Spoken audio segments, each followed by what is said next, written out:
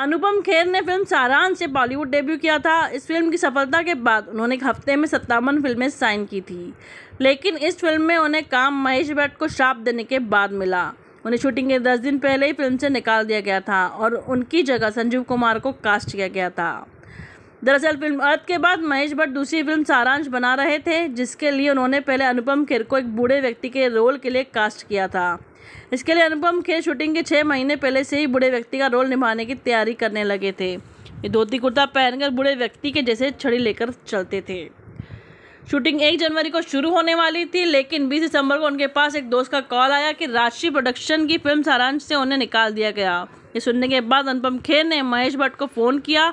तब महेश भट्ट ने उन्हें बताया कि वो किसी न्यू कमर को अपनी फ़िल्म में कास्ट नहीं करना चाहते। इस वजह से उन्होंने संजीव कुमार को कास्ट किया है।